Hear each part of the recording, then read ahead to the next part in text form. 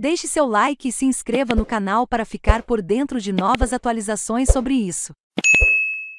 Está acontecendo na terceira via o que todo mundo já esperava.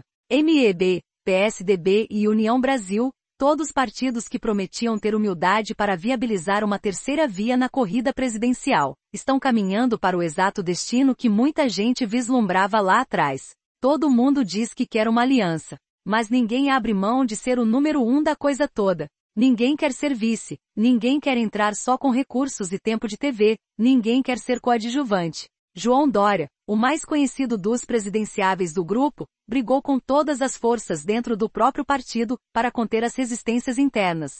Como era de se esperar, uma vez confirmado por seus pares, o tucano procurou assumir um papel condizente com o de ex-governador do maior estado do país nas negociações tentou ser o anfitrião de um grande jantar que colocaria todos os líderes e pré-candidatos dos três partidos na mesma sala. Uma jogada vista por seus pares como uma clara tentativa de assumir protagonismo no processo. Acabou sem confirmação de presença dos dois outros presidenciáveis do grupo, Simone Tebet, MEB, e Luciano Bivar, União Brasil. O jantar acabou cancelado. Tebet, por sua vez, entrou nas conversas citada pelos demais partidos como a vice-ideal. Experiente, dona de uma carreira política sólida, filiada a um partido com recursos e estrutura. E também mulher. Um trunfo relevante, já que existem regras que dedicam parte do fundo eleitoral a candidaturas femininas. Mas a MDBista anunciou em alto e bom som, na entrevista que concedeu ao Amarela Zon Air, que não será vice de ninguém.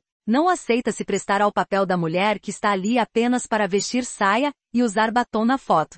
Luciano Bivar, presidente do União Brasil, tem sem dúvida um capital importante a colocar na mesa. Estrutura, recursos e tempo de TV. O partido tem Sérgio Moro nas suas fileiras, um candidato que até agora apresentava mais potencial de votação que seus pares, mas que terminou espirrado a contragosto para fora da corrida ao Planalto. Só que, como informou ontem a coluna Radar, o União Brasil saiu da reunião de líderes das três legendas na terça-feira, dizendo que está fora do acordo. O partido, segundo o relato, não aceitou critérios que dariam a Simone Tebet a preferência pela vaga, sem a disposição dos candidatos em ceder espaço para quem tiver melhores condições de disputar com o ex-presidente Lula ou com o presidente Jair Bolsonaro. O que se vê não é um afunilamento da terceira via, mas sim um encolhimento do grupo como um todo. Mais amarelas on air. Simone Tebet rejeita vice, e diz que não será a mulher na foto de batom e saia mais lidas.